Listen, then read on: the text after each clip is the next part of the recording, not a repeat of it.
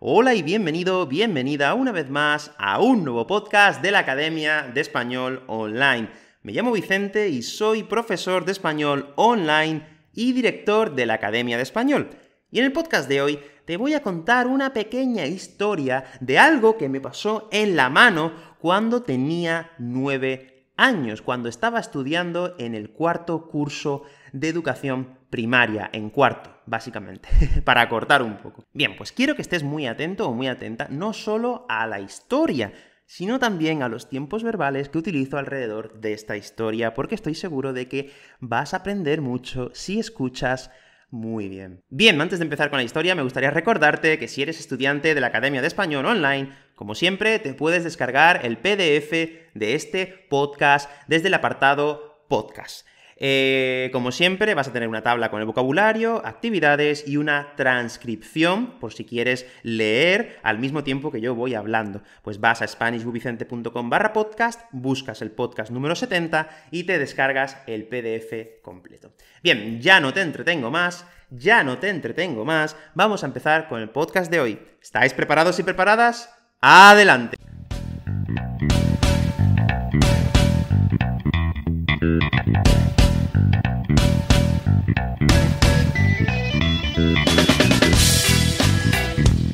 Bien, pues como te he dicho antes, te voy a contar lo que me pasó en la mano cuando tenía nueve años y que cambió un poco mi forma de pensar respecto a los animales. Bien, pues eh, por aquel entonces yo tenía nueve años y estaba en cuarto, estaba en cuarto curso de primaria. Eh, bien, pues ese día era un día normal y corriente, un día creo que era un viernes, porque eh, esto me ocurrió en la asignatura de educación física y yo sí que recuerdo muy bien que, em, que era eh, los viernes, sí, creo que todos los viernes teníamos educación física, sí. Esto pasó un viernes, ¿vale? Bien, pues em, era, por la mañana, y yo estaba en, en, el colegio, en clase, y estaba, estaba mirando la hora porque estaba deseando que llegara la hora de educación física, porque es, es la, eh, bueno, era la hora en la que salíamos al patio y jugábamos en realidad teníamos que hacer educación física, pero el profesor, bueno, el maestro que teníamos, era un maestro súper enrollado. Eh, recuerdo que se llamaba, se llamaba, porque el hombre falleció, se llamaba Don Fidel, y era una persona encantadora, y bueno, cuando tocaba, cuando tocaba educación física, él directamente nos daba un balón de fútbol y nos decía, salid al patio y haced lo que os dé la gana. Era un hombre muy... Pasaba un poco de todo, la verdad, pero bueno, pues para nosotros, que éramos unos niños, pues em, que, tu profe te dé un balón de fútbol y te diga haz lo que tú quieras, pues en aquella época era maravilloso. Bien, pues em, recuerdo que eran las 12 de la mañana eran las 12 de la mañana, había terminado el, recreo, eh, el recreo era de 11 y media a 12, media horita de recreo, que si recordáis los podcasts anteriores, yo pasaba todos los recreos, bueno, yo no, mis amigos y yo pasábamos todos los recreos jugando a los tazos, ¿vale? Si no sabes lo que son los tazos, te, recomiendo que eches un vistazo al podcast que grabé hace dos semanas donde te, te hablo de lo que son estos tazos, ¿no? Bien, pues ya, ya eran las 12 y era la hora de educación física. Era la hora de educación física y todos los niños salimos al, salimos al patio. Salimos al patio, todos los niños, todas las niñas, toda la clase salíamos al patio. Y el profesor, bueno, pues normalmente en educación física siempre calentábamos. Antes de hacer la actividad principal, calentábamos, ¿ok? También hice un podcast, qué casualidad. qué casualidad, leches. Hace tres semanas grabé un podcast de lo importante, eh, lo bueno que es calentar, ¿vale? Bueno, el caso. Eh, bueno, pues eh, como, como todos los días, como todos los días que teníamos educación física, pues salíamos al patio y calentábamos. El calentamiento, la verdad es que no era muy profesional, eh, teníamos que dar cinco vueltas al patio y ya está. Bueno, yo recuerdo que estaba... estábamos calentando y como este profesor era un profesor muy enrollado, era súper enrollado, don Fidel, pues nosotros ya sabíamos que íbamos a jugar a fútbol. Aunque él no nos dijera nada, los niños ya sabíamos que, a los 10 minutos nos iba a dar un balón de fútbol y nos iba a decir, a mí no me molestéis, voy a leer el periódico. Siempre hacía eso el hombre. La verdad es que eh, nosotros lo sabíamos. Pero bueno, bueno, pues estábamos calentando corriendo alrededor del patio y ya estábamos haciendo los equipos. Ah, yo voy con este, ah, no, pues yo quiero ir con esta, yo quiero ir con este, y ya estábamos haciendo los equipos. Y mientras dábamos vueltas alrededor del patio, había un montón de abejas alrededor. Había muchas abejas porque eh, creo que alguien había tirado un zumo, de estos zumos azucarados, y bueno, pues estos zumos pues atraen a los insectos. Bueno, da igual, estábamos dando vueltas y todo el mundo estaba así, pues esquivando un poco a las abejas, estaba esquivándolas, yo también, entre ellos. Y bueno, pues yo quise ser muy valiente, y como por aquel entonces jugábamos todos los días a, fútbol en el patio, yo llevaba bueno, voy a hacer un pequeño paréntesis aquí y te voy a explicar un dato interesante. Yo siempre he sido un niño muy gordito. siempre he estado muy gordo. Cuando era pequeño, yo estaba muy gordo. ¿ok? Eh, muy, muy gordo. Mucho. ¿Ok? Vale, estaba muy gordo. Bien. Entonces tenéis que entender que yo no jugaba de jugador de fútbol, yo jugaba de portero. ¿Por qué? Porque de toda la vida, de toda la vida, por lo menos en mi colegio, pues los que no éramos buenos nos poníamos de portero. Y a mí, como me gusta hacer las cosas bien, pues me compré unos guantes, unos guantes de portero para jugar a fútbol, porque cuando los niños pues me daban balonazos, pues poder pararlos y, más o menos ser un buen portero. Que sinceramente creo que no era un mal portero, pero bueno, nunca he jugado de, de jugador de fútbol, porque soy muy malo. Como diríamos en España, soy un paquete, soy un paquete. Pero bien, vamos a continuar. Yo estaba corriendo.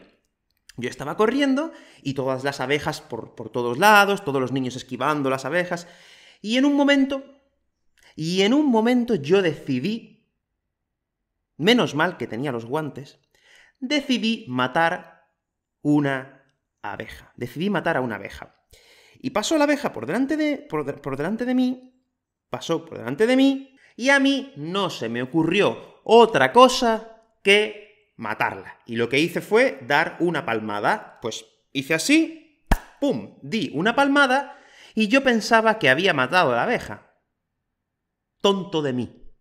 ¿Por qué? Bueno, pues porque las abejas tienen un aguijón y aunque yo llevaba los guantes de portero, me clavé el aguijón.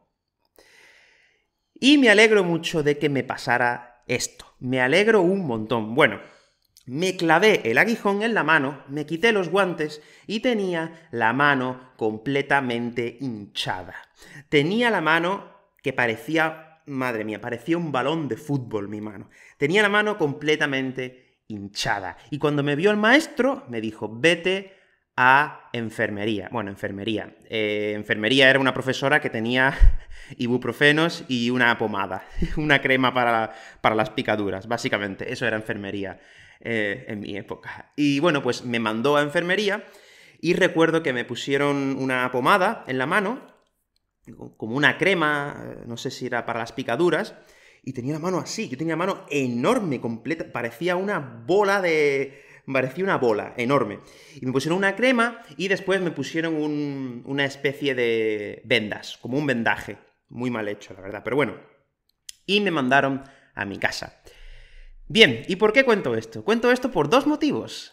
Uno es para, para demostraros que no se puede ir en contra de la naturaleza como yo aprendí con nueve años y me alegro mucho de haber aprendido esa lección, porque desde entonces no he vuelto a ir en contra de la naturaleza, porque me dio una lección muy, muy importante ese día. De hecho, lo recuerdo muy bien. Recuerdo completamente hasta cómo iba vestido.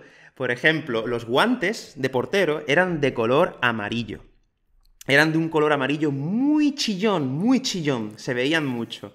Eh, iba vestido con un pantalón de fútbol Adidas de hace... ¡Buah! Súper antiguo, porque además era de mi primo el pantalón. El pantalón era de mi primo. Y llevaba una camiseta de... creo que era de Brasil, si no recuerdo mal, cuando, cuando Brasil tenía tres mundiales. Tres, creo que ahora tiene cinco, si no me equivoco. O sea, imagina si era, si era antigua la, ropa que llevaba, ¿vale? Pues yo siempre he usado, pues, cuando mi primo cambiaba de ropa, pues me la mandaba a mí y yo pues decidía si me la quedaba o no, que siempre me la quedaba porque mi primo usaba una ropa muy chula. Y bueno, pues iba vestido así. Em, eran las 12 de la mañana, eran las 12 de la mañana, recuerdo que había mucho tráfico porque, porque había habido un, un accidente al lado de mi ciudad, un accidente muy conocido, Sí, fue un accidente muy grande ese día, además.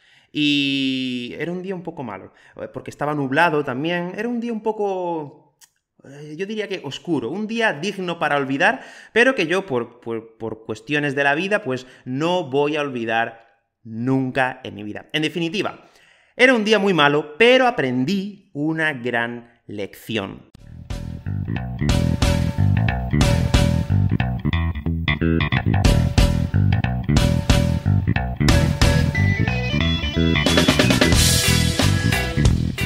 Bien, pues espero que hayas escuchado muy bien este podcast, porque aparte de contarte una historia, aparte, aparte, de contarte cómo aprendí a que nunca hay que hacer daño ni siquiera a los insectos, nunca, pues aprendí una gran lección. Y espero que tú hayas, pues, eh, escuchado esta historia, pero también hayas aprendido cómo usar un poco el imperfecto y también el indefinido. En el podcast de la semana pasada ya te enseñé un poco a hablar y a utilizar el, pretérito indefinido.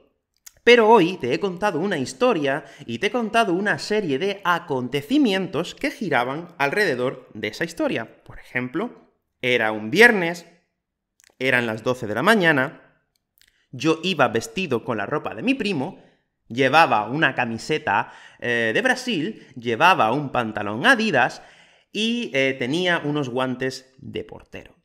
Bien, pues todos estos acontecimientos que giran alrededor de la historia has podido comprobar cómo he utilizado el imperfecto para hablarte de estos acontecimientos. Bien, pues antes de terminar, me gustaría preguntarte, preguntarte a ti, sí, sí, a ti, si alguna vez te ha picado un insecto me gustaría preguntarte si alguna vez te ha picado un insecto. A mí ese día me picó una abeja en la mano.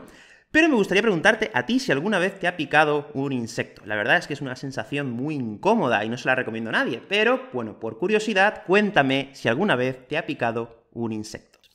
Bien, pues espero que te haya gustado un montón esta historia, espero que te haya gustado un montón y como siempre, muchas gracias por escuchar el podcast, muchas gracias por aprender español y nos vemos en el próximo episodio.